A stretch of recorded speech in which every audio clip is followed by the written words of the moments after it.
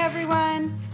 Are you tired of the same old mundane day to day drive? We have some exciting news. Beer for my Horses is coming back up in April. Lots of fun activities for you and the whole family. Help support local nonprofits, including the ASPCA for Help a Horse Day.